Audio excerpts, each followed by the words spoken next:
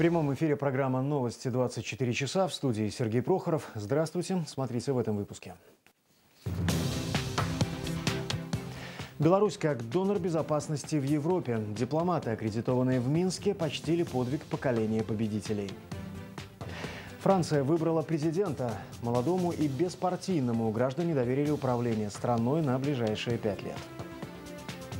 Нетрезвое происшествие. На дорогах Беларуси зафиксирован всплеск аварийности.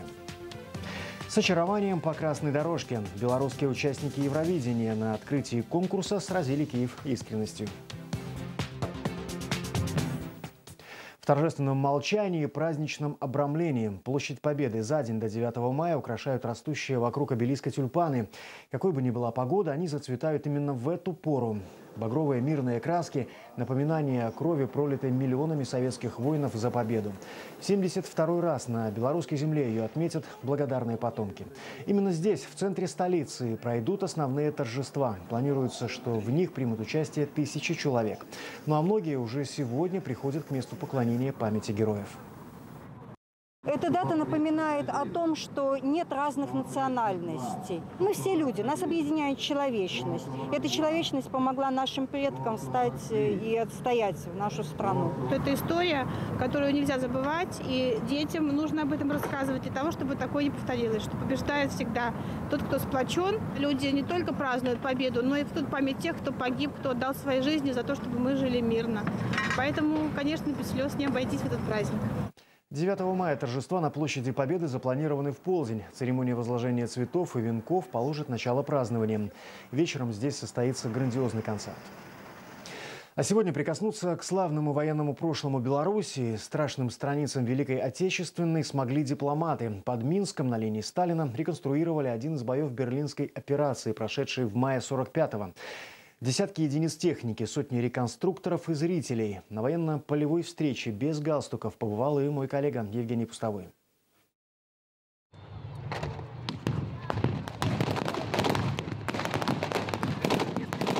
За дымовой завесой мирная картина. За нее белорусы заплатили жизнью каждого третьего во время Великой Отечественной. Поэтому помним, поэтому гордимся, поэтому так ярко празднуем День Победы. Среди тысяч зрителей выделяется вот этот интернациональный десант. Послы с семьями. Это первая такого рода дипломатическая встреча на линии Сталина. Пригласительная на военно-полевой променад без галстуков разослал белорусский МИД. Вот так примерно выглядела линия Сталина. ДОТ, кстати, не наступательное, а оборонительное вооружение. В канун Дня Победы белорусы провели уроки мужества для послов и их жен на линии Сталина. Чтобы еще раз напомнить о белорусском мужестве и политики добрососедства. В дни празднования Победы в одном дипломатическом строю представители тех стран, которые были по разные стороны окопов. Но свою победу мы инвестировали не в разрушительное возвеличивание отдельных народов и стран, а в новое мироустройство, в строительство эры ООН. Самое важное, э, как вашу страну, потому что это для нас тоже сорт либерализации. Для нас э, это самое важное чем э, здесь, в Беларуси и э, э, Российской Федерации, etc. В годы Второй мировой белорусы, жертвуя собой, останавливали молох нацизма. А сейчас наша страна – донор стабильности. Мы не являемся источником какой-то опасности, источником какой-то конфликтогенности. Мы доноры безопасности в Европе. Защищаем нашу совместную границу с Евросоюзом от э, наплыва нелегальных мигрантов, от трансграничной преступности, от торговли людьми и многое-многое-многое другое. Э, мы никому не имеем никаких ни территориальных претензий. И, кстати, Беларусь единственное государство постсоветское, которое не имело никаких вооруженных конфликтов на своей территории после развала э, Советского Союза. Пока говорят дипломаты, пушки молчат. Недавно назначенный в Беларусь посол Украины среди военной техники говорит о Минской площадке мирного диалога. Работа идет очень большая. Это непростая работа. Э, действительно, нужно много сил потратить, чтобы согласовать действия. Когда стороны что-то делают, любое перемирие, любые переговоры, это вопрос мотивации. Если люди хотят и страны хотят, они это сделают. Исход берлинской операции известен. И тогда разумное человечество, а сейчас зрители рукоплескали победному исходу. Но пусть в дальнейшем будут не менее эффектные дипломатические победы. А для этого надо хорошо знать уроки прошлого. Евгений Постовой, Леонид Бартенев, телекомпания СТВ. И главные новости на международной арене. Во Франции новый президент. Им стал молодой центрист Эммануэль Макрон. Его итоговые цифры на выборах 66% голосов. Это почти 21 миллион человек. Инаугурация новоиспеченного хозяина Елисейского дворца состоится 14 мая. Но уже сегодня 11-й президент Пятой Республики принимает телеграммы со всего мира. С победой лидера движения «Вперед» поздравил Александр Лукашенко. Президент отметил, что наша страна рассчитывает на поддержку взаимовыгодного сотрудничества сотрудничества между Минском и Парижем. Ну а в городе на берегу Сены сторонники Ле Пен бунтуют, а Макрона отмечает Викторию. Я буду служить вам со смирением и силой. Я буду служить вам, оставаясь верным принципам республики о свободе, равенстве и братстве. Я буду служить вам и буду достойным доверия, которое вы оказали мне. Да здравствует республика, да здравствует Франция. Впрочем, долго почивать на лаврах у Макрона не получится. Ему досталась страна с эрозией политической системы. Основные партии, социалисты и республиканцы, остались не у дел. А через месяц выборы уже в национальное собрание. И визави президента Ле Пен и ее партии – главные фавориты на получение парламентского большинства. В свою очередь, Эммануэль Макрон пообещал французам продолжить путь евроинтеграции. Еще более тесное сотрудничество с Германией, упор на евровалюту и борьба с безработицей. И сегодня же избранный президент Франции Эммануэль Макрон вместе с действующим главой государства Франсуа Ландом принял участие в памятной церемонии у Триумфальной арки в Париже. В честь 72-й годовщины окончания Второй мировой войны они возложили венки к могиле неизвестного солдата. Память погибших почтили минутой молчания и главы дипломатических миссий. Беларусь на церемонии представлял посол нашей страны во Франции.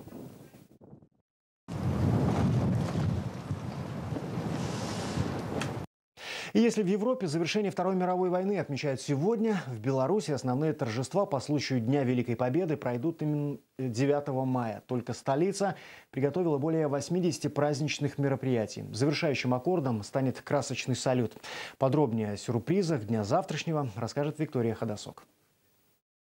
Насыщенная программа развернется и у Дворца спорта. Как же не попытаться победить в День Победы? На открытой площадке соберутся настоящие богатыри. Свои нечеловеческие возможности на международном турнире по силовому экстриму покажут знаменитые спортсмены-пауэрлифтеры. Здесь же можно будет заглянуть в самобытные переулки города мастеров за эксклюзивными украшениями и сувенирами в национальном стиле. Музыкальный тон празднику зададут десятки концертных площадок. Любимые песни Победы можно можно будет услышать около Дворца спорта. Эстафету подхватят и в Верхнем городе. В праздничный день торжества пройдут во всех районах города. Столичное метро утром и днем будет работать по графику выходного дня. По такому же расписанию к местам гуляний можно будет добираться и на другом общественном транспорте. Кстати, подумайте заранее, где припаркуете свой автомобиль. Вблизи площади Победы и Парка Победы это будет запрещено. 9 мая вся страна станет одной большой праздничной площадкой. В каждом городе программа программы будут со своей изюминкой. В Витебске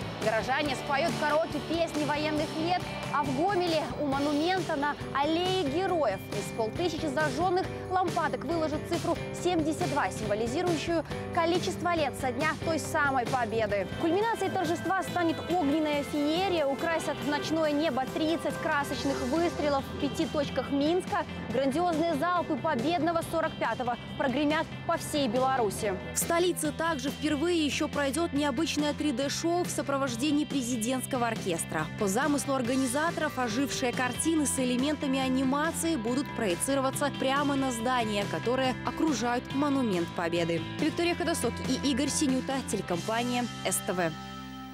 Три дня и три зимы до победы. 75 лет назад в деревне Пристань Минской области немецкие захватчики расстреляли всех мужчин. Женщинам и детям чудом удалось спастись. Каждый год в день этой страшной трагедии местные жители вспоминают тех, кого не стало теплым весенним днем. А тех, кто, как сегодня, помнит каждую минуту того дня, материал Анастасии Хобдовой. Антаніна Сергеевна усе 86 гадоў пражыла ў прыстані і той жудасны вясенні дзень помніць як сёння 6 мая здаецца і солнце свяціла тут по-іншаму съехали партизаны спадкабылі ж вот так а ты адсюль немцы і стрэліся і забілі немца аднаго партизаны і вот яны прыехалі цапілі сяло і давай сабралі ўсіх 100 20 8 человек, мужчин. И и молодых, и хлопцов, всех поубивали, всех. Страшно было, страшно. Кровь текла ракою. На месцы расстрэлу і сёння пустыр. На краі вёскі нібы і трава не расце. Менавіта тут, на гэтым узгорку 6 мая 1942 года і сабраліся жыхары вёскі прыстань. Як ім тады сказалі, прыйшлі яны сюды на сход. Але пасля нямецкія акупанты дазволілі жанчынам і дзецям ісці да хаты. Яны пабеглі вось за гэты ўзгорак. А тут адчулі стрэлы. Гэта нямецкія акупанты з кулямётаў расстрэльвалі мужчын. Як кажуць сведкі, па гэтай дарозе цяклі сапраўдныя крывавыя рэкі. І яшчэ тыдзень нават каровы не маглі ісці па гэтай дарозе, нібы штосьці адчувалі. А пасля выжыўшым прапанавалі ісці да хаты. Тых, хто паслухаўся б і ўстаў, расстралялі ў спіну. Так у вёсцы засталося толькі чатыры мужчыны. Хаваць расстраляных забаранілі тры дні. Ды не было з чаго зрабіць труну. Доскі прывозілі з суседняй вёскі, знаёмыя, а кагосьці хавалі ў агульныя курганы. Марыя Дмітріевна жыла тады насупраць таго самага крывавага ўзгорка. Праз усё жыццё яна пранесла з сабой успамін пра тое, як бабуля крычала «Хавайся!». Сталося чатыры хаты, хто в акопах гранаты кідалі, хто усіх ужо, дзе хто быў. Я дык уцякала ў кусты, і баба ўцякала. Была, што ўжо тоже інвалід была калека. Дык забіралі ўсё, што попало. Хадзілі, а хаты гарэлі, дык пакідалі ў акоп, и запаливали. И скрозь было страшно и страшно, что так вот робится и робится всегда. А пасля увосень вёска зусім знікла. Немцы зноў прыйшлі. На гэты раз пасля сябе пакінулі толькі папялішча. Усе 100 хат былі спалены. Жанчыны з дзецьмі цудам змаглі выратавацца. Да вайны ў прыстані стаяла 100 хат. Адразу пасля аднавілі толькі 8, але месца хапіла ўсім. Жылі жартуюць адной вялікай сям'ёй і калі знаходзілі, што прыгатаваць, дык ні ад кога не хавалі. І пасля кожны год 6 мая збіраліся ўсе разам, каб прыйсці да помніка і пакласці кветкі. Анастасія Хобатова і Ілля Пучко, столичное телебачение. Во время войны самым ценным для родных были письма с фронта. Их ждали с волнением. Хорошие новости в треугольниках или в дом придет еще одна похоронка. Во время войны многие солдаты вели дневники. Сейчас это реликвия не только их близких, но и бесценный материал для историков. О чем писали рядовые солдаты и офицеры, узнал наш корреспондент Петр Бутрим. Мария Попова из Пинска уже 94, а на момент начала войны отметила совершеннолетие. На фронт летом 41-го она отправила одного из самых близких людей, родного брата. В первые месяцы войны тревога за него возрастала с каждым новым письмом. А что будет в дальнейшем, трудно сказать. Вот пишет. Впрочем, с фронта от старшего Дмитрия дошли только два письма. На этом корреспонденция прервалась. О том, что брат, скорее всего, погиб где-то под Киевом, Мария Попова узнала уже потом, после долгих мук ожидания. И ждешь письмо и думаешь, вот похоронка придет, или похоронка, или живой. Волнуешься все время. Все и так же переживали, и, и, и боялись, что с такими известиями получим все. В общем, это надо пережить. Уже после войны, благодаря таким же письмам, Мария Попова помогла найти ни одного без вести пропавшего. Бережно хранит и свои семейные треугольники. Ведь это единственное напоминание о погибшем 76 лет назад. Такие солдатские треугольники с фронта родные ждали с особым трепетом. Здесь и типичные слова в концовке. Передавайте всем привет, остаюсь жив-здоров, ваш сын. Только вот конкретно это письмо, впрочем, как и тысячи других, для кого-то оказалось последним. Своя необыкновенно ценная бумажная реликвия есть и в этой семье. Благодаря потрепанному годами, но чудом сохранившемуся дневнику Сергей Потолятов знает весь военный путь своего отца. Этот дневник помог нам более э, скрупулезно узнать о фронтовых его э, буднях. Вот это ценно, потому что э, память стирается, а дневник остается.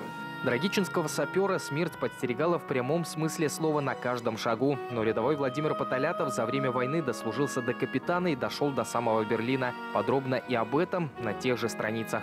Мщение не было диким. Мстили немцам в мундирах и не считались с теми э, цивильными, которые э, позволяли явную враждебность. Э, но стариков, старух, детей русский человек тронуть не смел.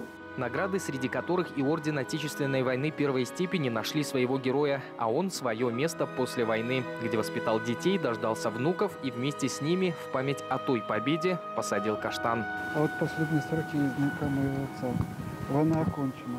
Может, скоро придется побывать и на родине. Как волнительны эти минуты. От этих слов мурашки по коже. Петр Бутрим, Станислав Пекарский, телекомпания СТВ, Брестская область. Трагедия в Минске. На пешеходном переходе легковушка сбила маму с ребенком. Женщина погибла, трехлетнюю девочку доставили в больницу. Авто же врезалось в столб. В салоне находились четверо выпивших мужчин. По этому факту возбуждено уголовное дело. Разбирательство сейчас ведется и в отношении еще одного нарушителя. Для того, чтобы его задержать, в Борисовском районе инспекторы ГАИ открыли стрельбу по автомобилю. За рулем оказался пьяный местный житель.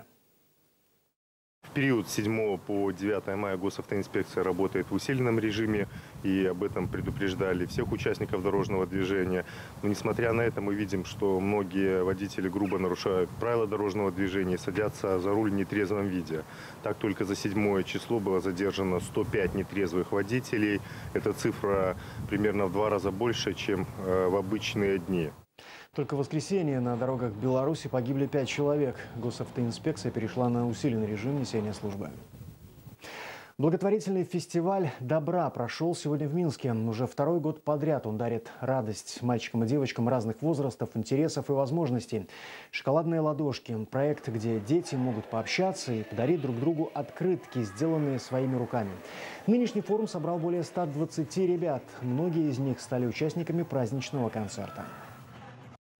Решили организовать благотворительный фестиваль добра шоколадной ладошки а, для того, чтобы а, ну, действительно искренне объединить деток, деток особых, деток здоровых, деток из приютов, чтобы показать, что нет никаких вообще границ. Мы проводим э, фестиваль в канун Дня Победы. Дети, вы видите, они шумят, они радуются, они живут в добре, потому что кто-то, может быть, плохо ходит, кто-то плохо слышит, кто-то плохо видит, кто-то талантлив, но они сегодня дарят добро друг другу.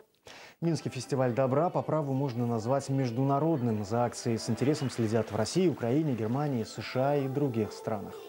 В Киеве сегодня проходят генеральные репетиции первого полуфинала международного конкурса песни «Евровидение-2017». Участники от Беларуси пока взяли тайм-аут. Их выступление состоится 11 мая. Это второй полуфинал. Накануне же дуэт «Навибенд» на церемонии открытия поразил Киев своей искренностью, вызвал повышенное внимание прессы, в том числе необычным талисманом. Это солнце, а это земля. Я думаю, вместе эти символы принесут нам удачу. Это наши древние национальные символы. Славянские символы. В конкурсе в этом году участвуют представители 42 стран. Напомню, полуфиналы Евровидения состоятся завтра и в ближайший четверг. Обладатель хрустального микрофона определится 13 мая. И на этом у меня все. В студии работал Сергей Прохоров. Всего доброго.